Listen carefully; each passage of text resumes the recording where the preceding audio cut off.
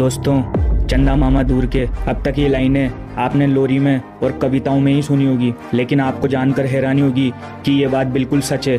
चंद्रमा धीरे धीरे हमसे दूर जा रहा है। नासा की ओर से दी गई जानकारी के मुताबिक, चंद्रमा हर साल 1.5 इंच दूर जा रहा है। एक दिन ये चाँद बहुत दूर चला जाएगा। सोचिए, चाँद के दूर जाने के बाद धरती पर क्या असर होगा? वैज्ञानिकों का कहना है कि एक दिन धरती का प्राकृतिक उपग्रह धरती से बहुत दूर चला जाएगा और ऐसा होने से धरती पर बहुत कुछ बदल जाएगा। हालाँकि चाँद को हमसे दूर जाने में 60 करोड़ साल लगेंगे लेकिन ऐसा होने पर धरती पर सब बदल जाएगा। प्राकृतिक आपदा की संभावना बढ़ जाएगी। न तो हमारी धरती वैसी रह जाएगी जैसी आज है। चाँद धरती का प्राकृतिक उपग्रह है। चाँद की गुरुत्वाकर्षण शक्ति पृथ्वी पर खासा असर डालती है। चाँद के इस ग्रेविटी का असर समंदर की लहरों, जुआर भाटा जैसी गतिविधियों पर पड़ती है।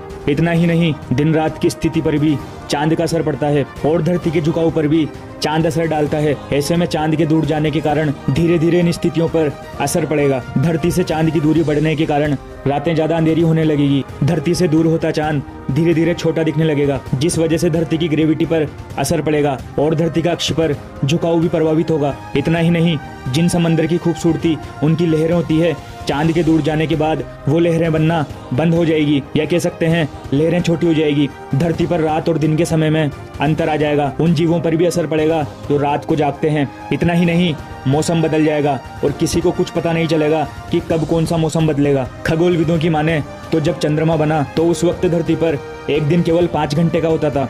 चंद्रमा के आने के बाद ये चौबीस घंटे का होने लगा। वैज्ञानिकों की माने तो साढ़े चार अरब साल पहले धरती से एक ग्रह टकराने के कारण चंद्रमा की उत्पत्ति हुई। पृथ्वी के गुरुत्वाकर्षण बल के कारण चाँद को हल्का बल लगता है। इसी बल के कारण चंद्रमा की कक्षा की गति बढ़ जाती है। और अगर वैज्ञानिकों की माने तो इसी गति के कारण चंद्रमा हमसे धीरे धीरे दूर हो रहा है। तो दोस्तों, उम्मीद करता हूँ कि आपको इस वीडियो से कुछ जानकारी ज़रूर मिली होगी। अगर आपको ये वीडियो पसंद आई तो वीडियो को लाइक करना और चैनल पर नए हो तो चैनल को सब्सक्राइब करना।